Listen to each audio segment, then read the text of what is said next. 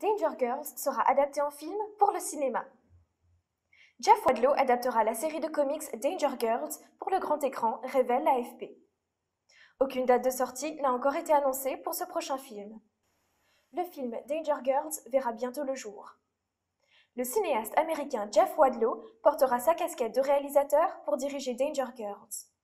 Celui-ci est connu pour les films Kick-Ass 2 et Action ou Vérité.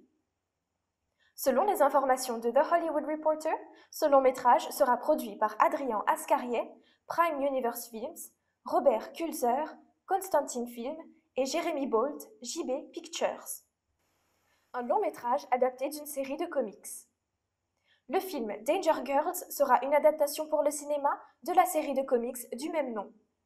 Cette bande dessinée, parue en décembre 1997, a été créée par le scénariste Andy Hartnell et le dessinateur J. Scott Campbell.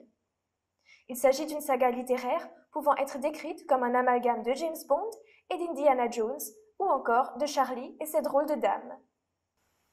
L'histoire de cette bande dessinée est centrée sur une jeune tireuse d'élite nommée Abby Chase, qui se retrouve malgré elle embarquée au cœur d'une organisation secrète appelée les Danger Girls.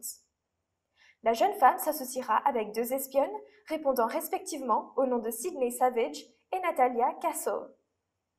Leur but sera de rechercher des objets magiques pour empêcher qu'ils n'arrivent dans les mains de l'Empire du Marteau. Un script signé Umair Halim pour ce film. Le scénario de Danger Girls a été confié à Umair Halim. De son côté, Jeff Wadlow s'est chargé de réécrire le script en partie. En attendant, le réalisateur travaille également sur son film Fantasy Island, qui est attendu dans les salles de cinéma en février 2020.